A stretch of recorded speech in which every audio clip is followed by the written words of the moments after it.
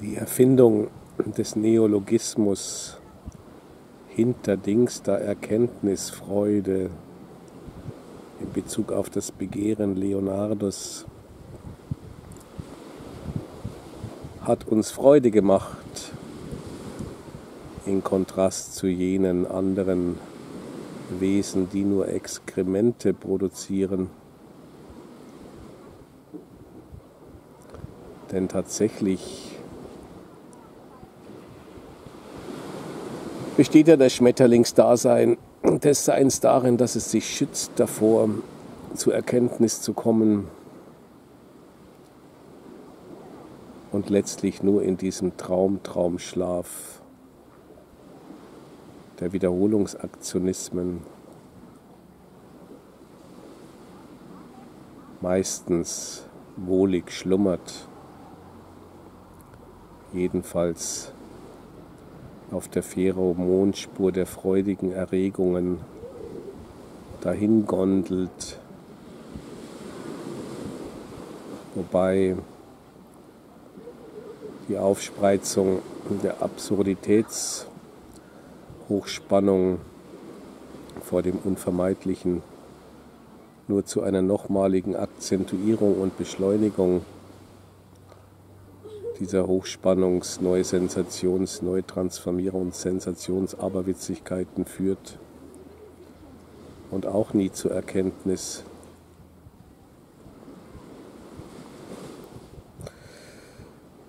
Der Begriff hinterdings da Erkenntnisfreude oder Erkenntnislust Leonardos passt sehr gut, weil das Hinterdings sein Ding war nicht ausschließlich vermutlich die Schwanzfedern des Milans, die seine Lippen berührten, damit er strategisch schwieg.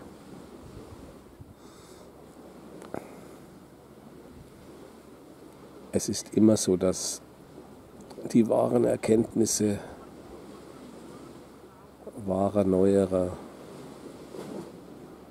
nie zu deren Lebenszeiten, zu deren Sicherheit führen, ob sie sich einschreiben in die Diachronie des Nichtvergessens der Menschheit. Und je höher das Genie, je größer, desto größer die Empörung, Empörung der allzu vielen Nietzsche, Leonardo bis hin zu Aristoteles.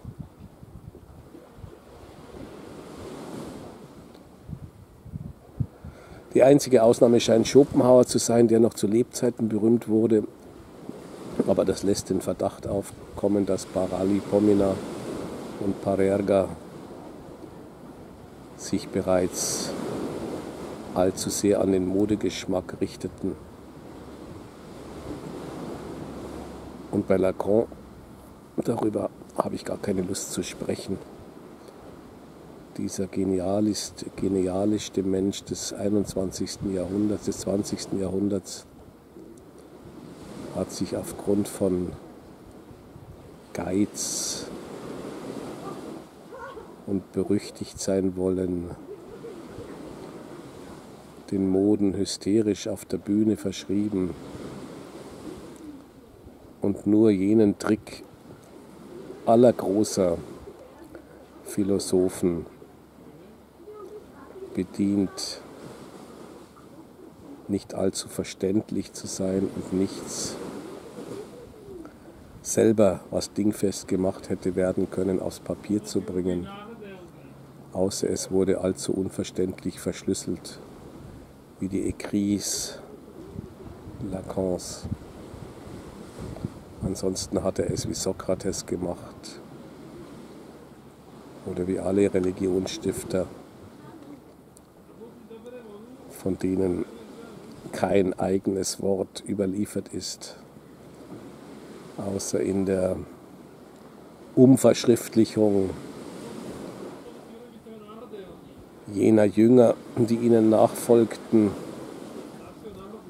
und die das Gesetz Leonardus befolgte, der wäre ein schlechter Schüler, wenn er seinen Meister nicht übertreffen und verraten würde.